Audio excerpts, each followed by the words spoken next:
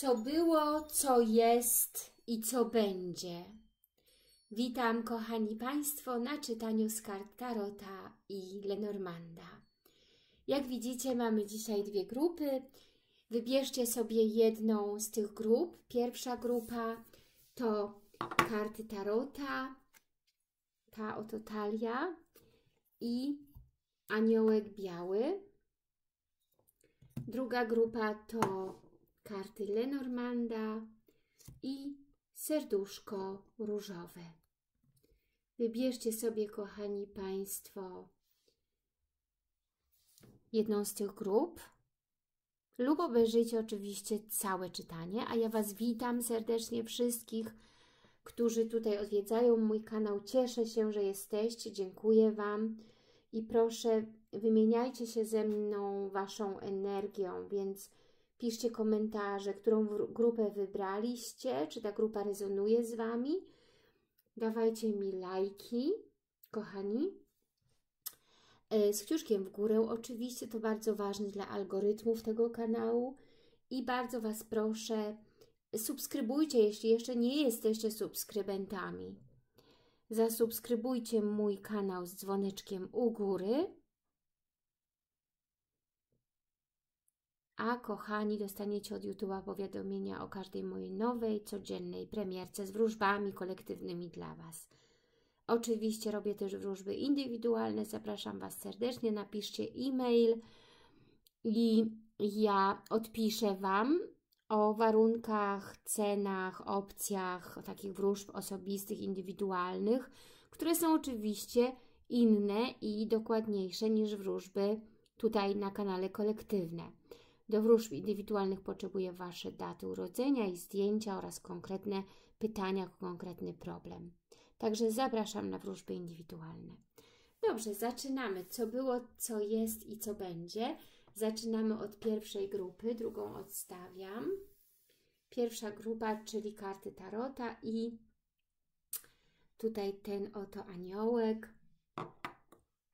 Jak widzicie, aniołków mam dużo, takie uwielbiam, więc zbieram aniołki. Dobrze. Co było, co jest i co będzie z trzech kart. Co było?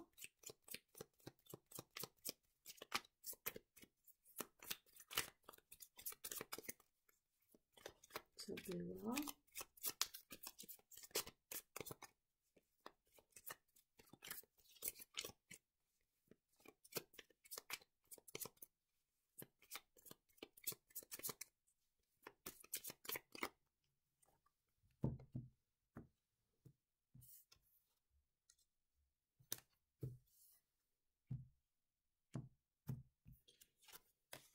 Co było, co jest i co będzie.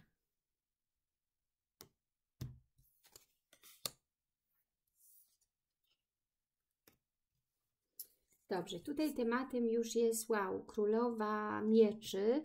Być może jesteście tą królową mieczy. To oczywiście jest y, żywioł powietrza to jest być może osoba spod znaku bliźniąt wagi wodnika. Jeśli jesteście taką królową powietrza y, spod tego znaku, to oczywiście jest to mowa o Was, a jeśli, jeśli nie jesteście spod tego znaku, to znaczy, że powinniście wejść w taką energię, czyli ostra osoba, która jest samodzielna, decydująca, która jest silna, która myśli tutaj na poziomie rozumu, wszystko musi przemyśleć, musi mieć dobry plan działania, jest no nieraz oziębła, ale bardzo intelektualnie sprawna i podejmuje decyzje szybko, zdecydowanie i dąży do swoich celów.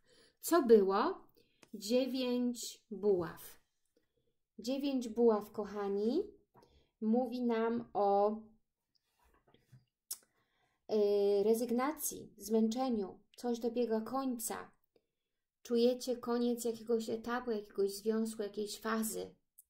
Jesteście tym zmęczeni i stoicie, jakby obwarowaliście się tutaj e, tymi buławami i jakby tutaj e, chronicie się, tak? Skrywacie, chronicie, e, po prostu jesteście sami macie jeszcze chęć do działania, ale czujecie, że to, co teraz robicie, dobiega już końca.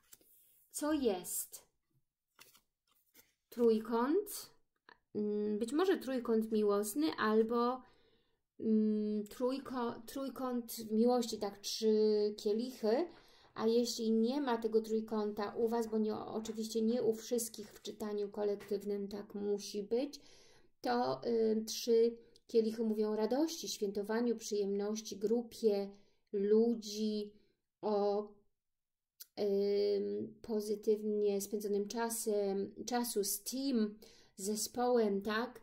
Y, jakaś być może uczta, może macie coś do świętowania lub jest jakiś radosny teraz dla Was czas. Co będzie? Oj, kochani, kochani, kochani, jakiś smutek, deficyt. Piątka pentakli to oczywiście nędza, yy, brak pieniędzy, brak pracy, bieda, strata, negatywne myślenie na temat pieniędzy, pracy, egzystencji, strach, lęk, szukanie pieniędzy lub szukanie nowej pracy, szukanie nowych szans, ale tutaj jest jakiś niedostatek, tak? Y, no też może to być oczywiście w sprawach uczuciowych, niedostatek, deficyt uczuciowy, emocjonalny, tak? Y, porzucenie, smutek, rozpacz z tego powodu. No niezbyt, kochani, takie pozytywne, optymistyczne czytanie, ale czujecie, że coś dobiega końca, Niby jesteście być może radosne, ponieważ jesteście wolne, czujecie wolność lub macie nowe plany, ale czujecie jakiś niedostatek albo po prostu brakuje Wam pieniędzy lub martwicie się o swoją egzystencję z powodu tego rozstania. Taka grupa pierwsza nam wyszła. Dziękuję serdecznie i zapraszam grupę drugą.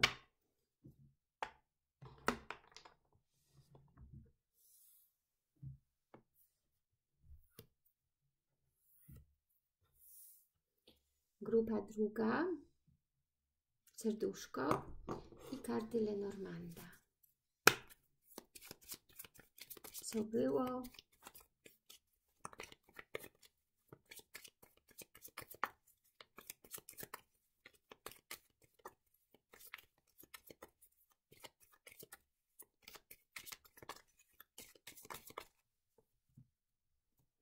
Co było?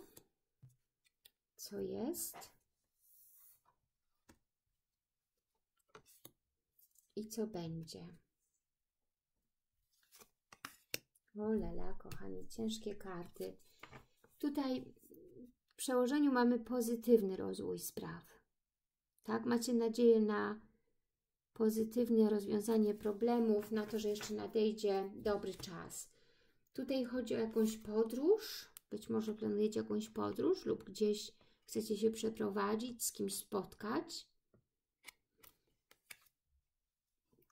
co jest, kosa, nie wiem, rozpacz, cierpienie, zablokowanie kontaktów, blokada, odwołanie tego spotkania.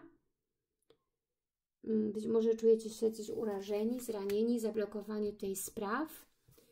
I labirynty, czyli trudność wyjścia ze skomplikowanej sytuacji jakoś niejasność sytuacji, skomplikowane, niejasne, zakrę zakręcone sytuacje, które są oczywiście męczące i nie widać tutaj na razie na horyzoncie rozwiązania. Tutaj pałętacie się, nie wiecie jak rozwiązać te problemy, jak wyjść z tych kłopotów, z tej ciężkiej sytuacji.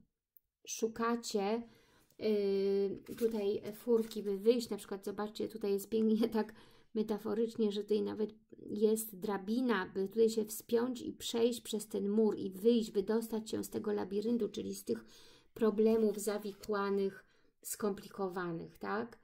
Czyli co będzie? Będzie tutaj szukanie rozwiązań, by wyjść z tych problemów, ale tak jak powiedziałam, nie traćcie nadziei, bądźcie pozytywnej myśli, ponieważ tutaj jest nadzieja i pozytywne rozwiązanie spraw. Dziękuję serdecznie dwóm grupom. Pozdrawiam Was i do usłyszenia Kochani, już wkrótce.